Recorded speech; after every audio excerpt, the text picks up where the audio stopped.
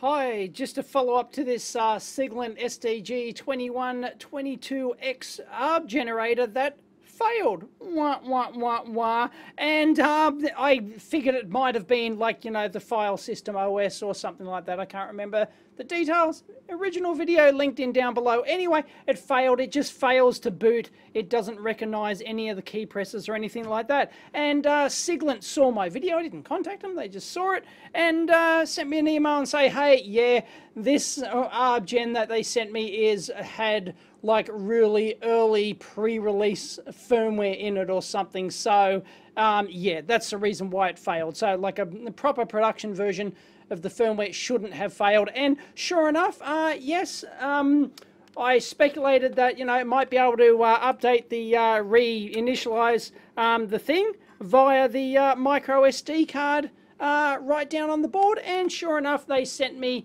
uh, the latest firmware and instructions. So thank you very much Siglent. Please excuse the crudity of this uh, screen capture but here we go. Um, basically you prepare an SD card. They've sent me the files. You use this HP USB uh, storage formatty thing to format the thing. And then you copy the choose FAT32 blah blah blah blah blah. And then you copy over the files.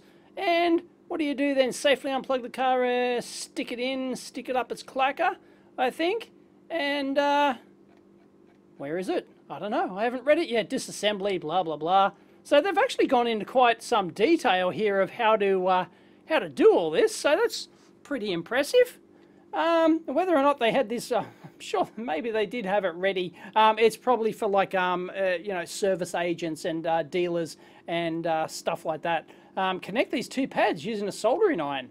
Hmm. What? To change the boot sequence. Oh, okay. Right. Hang on. Let's see if that's in there. Yep. Yep, sure enough. There it is, right down there.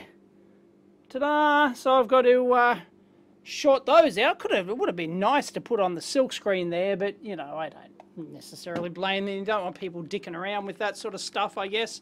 Um, if you're a company selling products like this, you don't want us uh, pain in the ass, um, curious people to dick around. So we short that out. I'm not going to short it out with solder. That's a bit medieval. Um, and blah, you stick it in and you power it on, and I think it uh, it does the business. Anyway, I'll read all the uh, requisite details and I'll format the SD card and let you know. Okay, files copied. Let's try the old tweezer approach. There we go. Stick it down. Hold your tongue at the right angle. Let's power it up. Woohoo! Does it? It works! It's alive! Beautiful! No worries whatsoever. Short removed, SD card removed.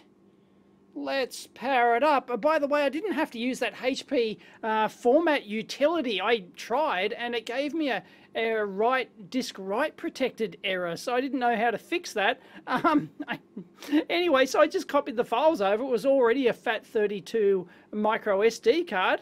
Uh, copied that over, no worries. Bob's your uncle. Bob is my uncle. Well, we'll see. Come on, boot up. Hey, we're in. Yay! It's back working.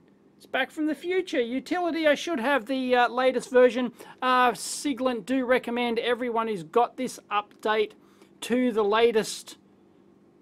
Huh? Update to the latest uh, version, which is, there you go, hardware version.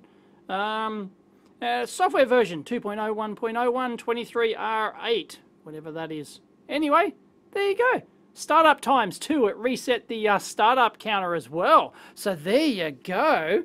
There's a little tip for you eBay scammers out there. If you want to uh, uh, make your instrument as new, and you can actually um, just reflash the firmware like this and it resets the startup timer and you can say oh it's never been used straight out of box box look I only powered it up uh, twice to get the photos Anyway, yeah. Thank you very much, Siglent. Um, it works, yes. So uh, no fault with the actual unit itself. I don't blame like a you know pre-release uh, firmware or anything like that. So yeah, I they definitely sent me a pre-release version of this, so that's what it was. Anyway, there you go, beauty. Win-win a chicken dinner. Catch you next time.